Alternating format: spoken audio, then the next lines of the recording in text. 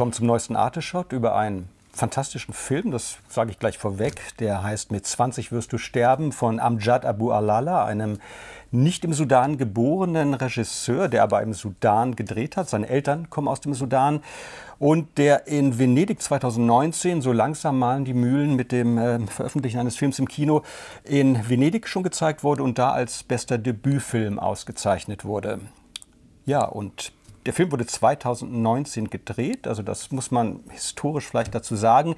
Das Jahr, in dem eine 30-jährige Diktatur endete, die von Umar al-Bashir, also der hat so derartigen Ruhm gebracht, dass er sogar in dem ganz legendären Tyrannenquartett. Also kennst du diese Quartetts? Das, sind, das sind ganz viele Quartetts, wo gibt es schon in, in, vier Folgen Ach so, schon. Spiele, Spiele. Ja, Spiele in Quartett, so, wo, wo, die bösesten Tyrannen, die am meisten Menschen umgebracht haben, am meisten gewütet haben, äh, am meisten das fängt beim Nero ja, an. Ja, am meisten Kohle, Kohle veruntreut haben und der taucht auch schon in der ersten Auflage auf. Also das zeigt nur, also unter was dieses Land also ja. 30 Jahre gelitten hat, wenn man weiß, es ist Teil des Tyrannenquartetts. Ja. Er war ein Tyrann und hat die. Sache so richtig in den Sand gefahren. Das heißt also muslimischer Staat, äh, Filme wurden verboten, äh, Kino überhaupt, also die ganze Kacke, die da so am Laufen sein kann. Ja, und nun kommt dieser junge Regisseur und macht einen Film. Mit 20 wirst du sterben. Ja, und es ist der erste Film im Sudan seit über 20 Jahren. Ja sagt er. Und wahrscheinlich erst der siebte oder achte überhaupt aus dem Nein, Land. Es, es, gab eine florierende Industrie. Wir erfahren ja. ja auch in diesem Film, da taucht ja ein Kameramann auf, äh, der, äh, der, der, der dem jungen Helden in diesem Film ähm, immer so ähm, ähm, Teile des alten Sudans zeigt. Und das sind Teile eines, eines Dokumentarfilms, der Khartoum hieß, von Jadala Yubara. Das war, ist ein relativ bekannter Filmemacher, ja. der Film, Film gemacht hat und der natürlich diesen Sudan zeigt äh, zu einer Zeit vor Bashir, wie er zum Zeitpunkt des Films nicht mehr ist. Also das ist dieser Suleiman. Äh, genau, das ist der Suleiman, genau, das ist der Kameramann. Aber äh, genau, fangen wir sozusagen, das war nur als Einleitung gedacht, ja, um, äh, ja. um halt diese, wer ist das eigentlich, dieser, der mit 20 sterben ja, soll. Äh, das ist eigentlich eine sehr schöne Eröffnungsszene, kann man ruhig sagen. Eine tote Kuh in der Wüste. Hinten zieht ein Umzug vorbei. Es sind Derwische von der Sufi-Sekte, genau. sagen die, die Mohammedaner oder die Muslime. Äh, die Sufis sind eine Sekte für sie. Eine Mutter mit dem Kind will das dem Scheich bringen und der Scheich soll halt ein gutes Wort fürs, äh, fürs Leben, für dieses Kind. Äh, Musalil, glaube ich, heißt er. Ja, Musamil, glaube ich, ja, genau. Ja. Heißt er. Und äh, da, da, bin ich mir jetzt nicht sicher, ob ich das richtig gesehen habe. Von mir aus passiert dann eine Fehlleistung des Scheichs. Derweil, also während die beim Scheich ist, tanzen da hinten die Derwische ganz wild und einer ist voll in Trance. 18, 19, 20, zack saust er zu Boden tot. Mhm. Und in dem Moment will der Scheich den Spruch sagen und sagt, der, der um das Kind der, zu segnen. Ne? Also genau, das, zu ja. segnen. Und äh, also für mich eine totale Fehlleistung, gezielt inszeniert vom, vom äh, Regisseur äh, und sagt, der Junge sowieso wird mit 20 sterben.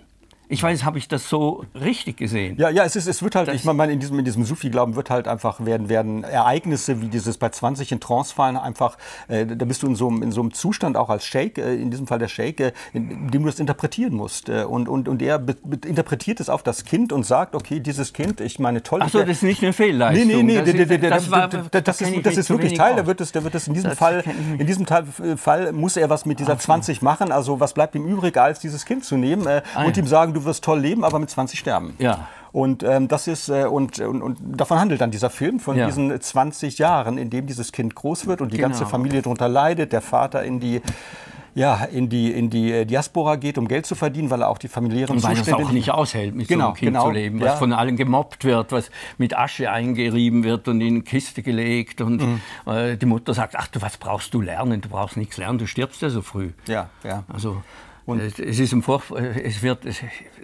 er zeigt eigentlich, wie, wie einfältig die Leute sind und auf so ein Wort. Äh, ja, und, und genau, das, das ist das Hochpolitische dieses Films. Ja, das genau. ist halt, man, man, man fragt sich, der Film ist 2019 gedreht worden und zuerst dachte ich, es sind ja tolle Cinematografie, großartige Aufnahmen, äh, Perlen im Gegenlicht. Äh, der Nil wird, also das spielt äh, 100 Kilometer südlich von Khartoum, also im, in diesem Nil-V, blauer und weißer Nil treiben ja. aufeinander zu und in dieser Region spielt das und äh, du denkst, ja, was, was will er uns eigentlich da politisch Politisches erzählen. Aber umso länger man sieht, umso mehr versteht man, dass es natürlich auch um dieses, dass der Glauben da auch mit der, mit der politischen, oppressiven Lage genau. gleich ja. äh, geschaltet ja. wird. Und es zeigt, wie die Menschen in so, in so einem autokratischen System einfach alles machen, alles glauben, egal wie ja. absurd es ist. Denn diese 20, es ist ja völlig dumm bleiben. Genau, ja. natürlich. Und, und, das ist die, die, die tiefe Kritik, gerade im Gegensatz zu diesem Kameramann, der natürlich noch diesen alten Sudan kennt, dieser alte Sudan, der halt ein, ein Land war, in dem man tanzen durfte und ins Kino gehen konnte. Und, ähm, und das, das wird. Ja, äh, apropos Kameramann, da, da, erzählt der Regisseur in einem Interview auch noch ganz lustig. Der, sein Kameramann ist ihm zwei Wochen vor Drehbeginn, weil sich alles verschoben hat, ausgefallen. Er musste irgendeinen casten aus Frankreich, hat ein paar interviewt. Und welchen hat er genommen? Der, den, äh, der, der, der, nicht ein Wort über äh, Brennweiten und Linsen gesagt hat, sondern nur vom Film geredet hat. Ah ja. Und ja. das spricht eigentlich, finde ich, sehr für den Regisseur. Und ich finde, wie er das Licht des Sudans einfängt ja, und diese Kamera ist, ist allein schon ein, ein Sehvergnügen. Ja, und auch der ganze Wahnsinn. Die mussten, es gab ja kein Equipment im, im, in Khartoum. Also, und das, das, die mussten ja alles aus Frankreich in diesem vier Fall. Tonnen, vier Tonnen vier, vier Material Tonnen. aus Kairo, eigentlich von, von Ari gesponsert, sagt der Regisseur dann immer. Äh, da sind die Münchner dann wieder stolz, nicht? und, aber jetzt äh, etwas anderes. Ich hatte im, auf YouTube ein, ein mhm. Gespräch gefunden zwischen zwei islamischen Intellektuellen über diesen Film. Ja. Das ist ganz lustig. Erzähl. Die äh, monieren, also die sagen, dieser Film hat a hidden message, a hidden agenda. Ja. gegen den Islam. Und da kommt natürlich genau diese Sufi-Geschichte und sagen, das ist nicht islamisch ist es ja auch nicht, glaube ich. Also dieses Wort, ja. diese Weissagung mhm. für, für das Kind. Und die sind aber ganz irritiert, was für einen Riesenerfolg der Film überall auf der Welt hat. Ja, war ganz lustig. Ja, das ist interessant. Natürlich ist das natürlich nicht das Christentum. Ja, das ist, es wird ja aus, aus vielen Einzelteilen entsteht ein Gesamtbild eines, eines Glaubens, äh, der natürlich äh, partikulär ist, wie, wie, wie jeder Glaube. Ja, ja, und der Film gibt, ist, ja, ist ja nicht anti-islamisch. Also nein, da werden nein. ja wunderschön Suchen gelesen, wenn er genau. in der Koranschule ist. Genau, das wird halt auch viel vom Alltag erzählt erzählt von diesem. Also und es wird natürlich, da hast du schon recht, das ist ja auch das Politische. Der Suleiman, in dem sich auch der Regisseur sieht, ist so ein Outsider, der natürlich ja Frauen hat, äh, Alkohol raucht, trinkt. Alkohol trinkt, Filme schaut. Und ja. das ist natürlich äh, sozusagen das Böse, das ist die Verführung, das ist das, was in ja. diesem äh, Diktaturstaat natürlich nicht gern gesehen ist. Genau, das wird halt explizit nicht gesagt. Ich meine, diese Bilder, die, die, diese Bilder sind halt, äh, diese Bilder der Vergangenheit zeigen halt diesen Sudan, also wie er, wie er war. Und es gibt auch, einen, möchte ich erwähnen, einen ganz tollen Roman von Leila Abulela, das ist eine mhm. sudanesische Autorin, die heute in London lebt und die in ja. ihrem vorletzten Roman Minarett auch genau das beschreibt, diese letzten Jahre mhm. in diesem freien Sudan und äh, dann mhm. dieses Umkippen in eine völlig andere Welt. Und sie ist halt gegangen, also und genauso wie dieser Kameramann ja auch gegangen mhm. ist in diesem Film und äh, sie ist aber nie zurückgekehrt und hat eher ja. in der Diaspora also ihr Unglück gefunden mhm. und, mhm. ähm, und er, ihm geht es ja eigentlich in der Heimat auch nicht anders. Er ist ja auch nicht glücklich und das ist auch diese Tragik, wenn du innerhalb eines solchen Regimes groß wird, äh, wirst, ja. egal was du tust, ob du gehst oder ob du bleibst, du findest nur ganz selten dein Glück. Ja, ja. Und das zeigt auch dieser Film, auch dieses am Schluss, dieses Weglaufen oder Hinlaufen zu der Freiheit. Äh, das ist, hat was